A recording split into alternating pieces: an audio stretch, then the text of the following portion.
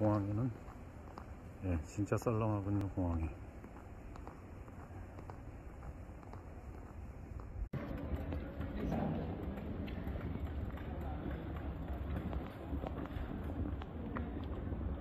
오직 수복만 못 열었네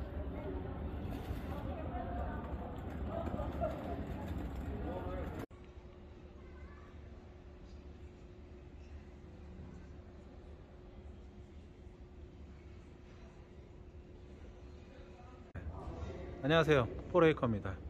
네 여기는 인천공항 출국장입니다.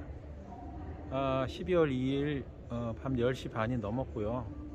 아, 인천공항에 사람이 하나도 없을 줄 알았는데 이 카타르 항공하고 아랍에미리트 항공이 야간 비행기가 있어서 네, 그래도 꽤 오랜 시간 1시간 정도 기다려서 티켓팅을 보딩을 할 수 있었습니다.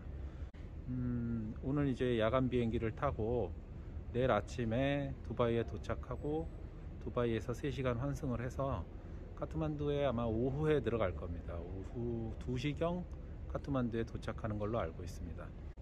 네, 일단 저는 출국을 했으니까 네, 트레킹을 즐겨야겠죠. 트레킹 즐기고 영상도 좀 만들고 아, 그렇게 해서 한 달 정도 일정으로 지금 나왔습니다. 음, 지금 역병도 뭐 불과 며칠 사이에 좀 휙휙 바뀌는데 미래를 누가 예측하겠습니까?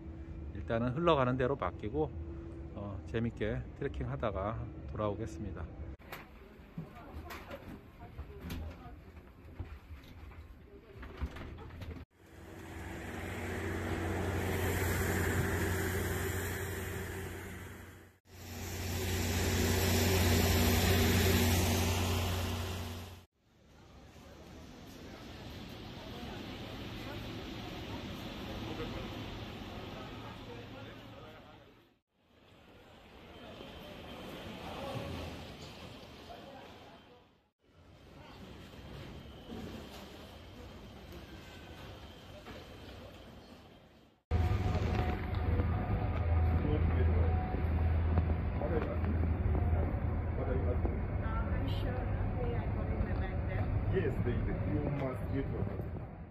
자회사인 플라이두바이로 환승하기 때문에 어, F게이트를 와서 어, 터미널 2로 가는 버스로 갈아타야 됩니다.